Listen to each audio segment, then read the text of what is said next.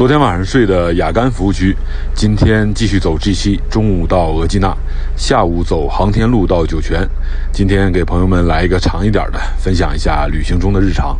沙漠来了，我期待的沙漠公路，太帅了！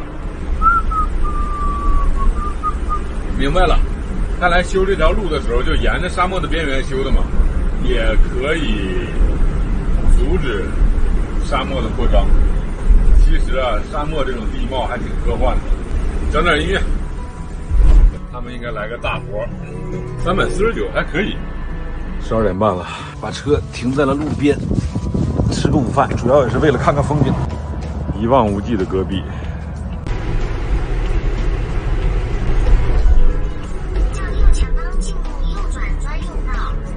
好嘞。酒泉故事。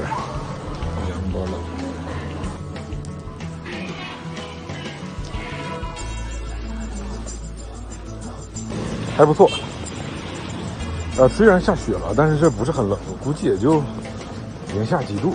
上车找一个停车的地方，起床。呃，昨天晚上把车停在了酒泉当地特色早餐小吃的门口。啊，昨天酒泉下雪了，还是大阴天。一会儿去吃早餐，就在那个街的十字路口哈。昨天晚上发生了一个挺好玩的事儿啊，但是忘记拍素材了，整个车顶都是白的。出发去吃酒泉的当地特色早餐——糊锅。这个是车上第一次有雪，我这个是合法停车位哈。宋记糊锅总店。好，谢谢。吃完了。吃我一脑门子汗，还行，呃，它主要是 三种东西在里面，小麻花、面筋，还有类似于粉条的东西，然后它是这个呃胡椒味的，就跟胡辣汤差不多，粘稠状的，然后里面的东西呢就是刚才那三种。现在回车里开车去敦煌，刚才导航查了一下，连霍高速没有封路，大概四个多小时可以到。你看像这种城市里啊，你就不好意思。往地下放灰水，所以我刚才洗脸和洗头发的水呢，呃，都放在了盆子里。我现在进去把它拿出来倒掉。哎，昨天晚上挺好。这个酒吧的老板敲我的车门，然后呢说有没有可能聊几句，请我喝了，哎，这是啊换下来的水，请我喝了两瓶啤酒，然后呢聊了聊当地的风土人情，有意思。再见了。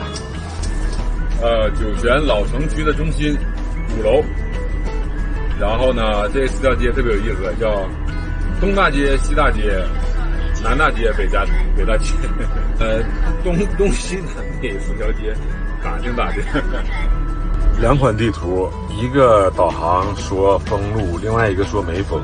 靠右上坡。我就过来看一下，结果不理想啊，大家自己猜吧，是哪个对了，哪个错了。高速封了三个小时，然后呢，现在刚开，呃，上高速大概五个小时之后抵达敦煌，啊，我要慢一点开哈，因为因为高速因因为有雪造成交通事故的这个北方人看的太多了，我靠，不能又封上了吧？肯定不能，我这运气不能这么差。只有大挂车让走，小车不让走。我要走国道去的话，大概要八个小时，要比高速慢一倍啊。呃，现在是中午了，我先吃个饭吧，然后走国道去，可能要贪一点黑赶夜路了。下午三点，高速重新开放，啊，应该是撒除雪剂了，路面已经开始化了。然后开车一定要小心点啊！呃，应该是晚上五个小时，再加上慢一点的话，六个小时，九点多十点到敦煌。